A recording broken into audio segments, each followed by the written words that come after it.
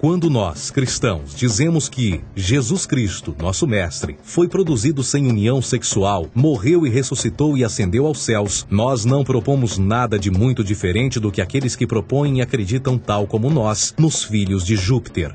Numa escrita diferente, Justin Martyr diz: Ele nasceu de uma virgem. Aceite isto em comum com o que você acredita dos Perseus. É óbvio que Justin e outros cristãos cedo souberam como o cristianismo era semelhante a outras religiões pagãs. Contudo, Justin tinha uma solução. Para além de tudo o que sabemos, o diabo era em quem mandava. O diabo teve a ambição de chegar primeiro que o Cristo e criou essas características para o mundo pagão.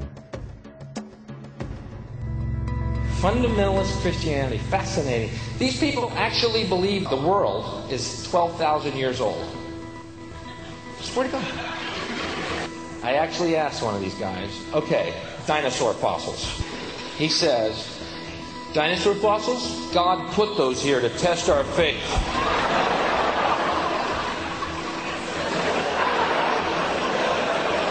I think God put you here to test my faith, dude. A Bíblia não é nada mais do que um híbrido literário astroteológico, tal como todos os mitos religiosos que os antecederam. De fato, o aspecto da transferência de atributos e umas personagens para as outras é facilmente reconhecida no próprio livro em si. No Antigo Testamento há a história de José. José era um protótipo de Jesus. José nasceu de um milagre, Jesus nasceu de um milagre. José tinha doze irmãos, Jesus tinha doze discípulos. José foi vendido por vinte pratas, Jesus foi vendido por trinta pratas. Irmão Judá sugere a venda de José. O discípulo Judas sugere a venda de Jesus. José começa os seus trabalhos aos 30. Jesus começa aos 30 também. Os paralelismos continuam. Além disso, haverá algum registro não bíblico da existência de mais alguém chamado Jesus, filho de Maria, que viajou com doze seguidores e curou pessoas? Existiram muitos historiadores que viveram no Mediterrâneo durante esse mesmo período e até mesmo após a presumível morte de Jesus. Quantos desses historiadores fizeram relatos sobre a sua figura? Nenhum.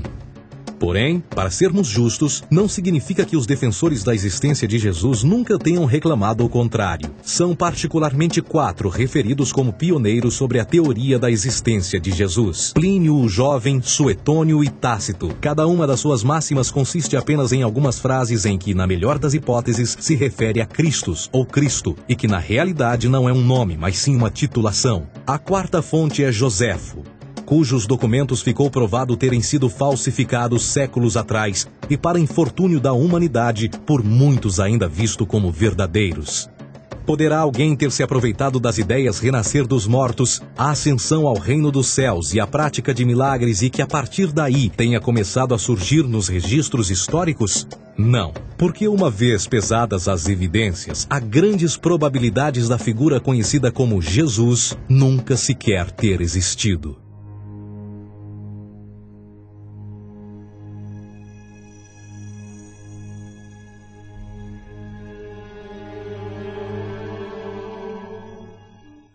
We don't want to be unkind, but we want to be factual.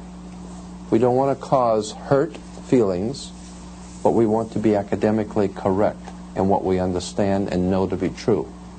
Christianity just is not based on truth. We find that Christianity was in fact nothing more than a Roman story developed politically A realidade consiste em que Jesus foi a divindade solar do setor gnosticista cristão e, tal como outros deuses pagãos, era uma figura mítica. Foi sempre o poder político que procurou monopolizar a figura de Jesus para controle social. Por volta de 325 depois de Cristo em Roma, o imperador Constantino reuniu o Concílio Ecumênico de Nicéia e foi durante esta reunião que as doutrinas políticas com motivação cristã foram estabelecidas e assim começou uma longa história de derramamento de sangue e fraude espiritual. E nos 1600 anos que se seguiram, o Vaticano dominou politicamente e com mão de ferro toda a Europa.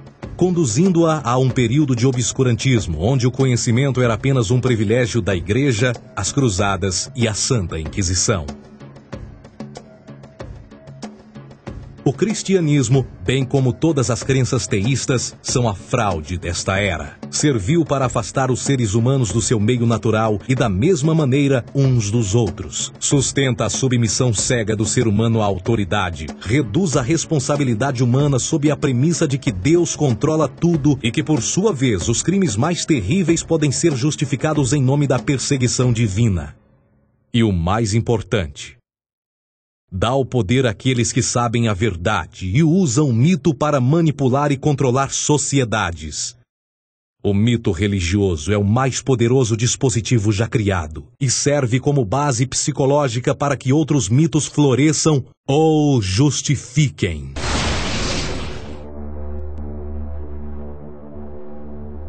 A myth is an idea that, while widely believed, is false.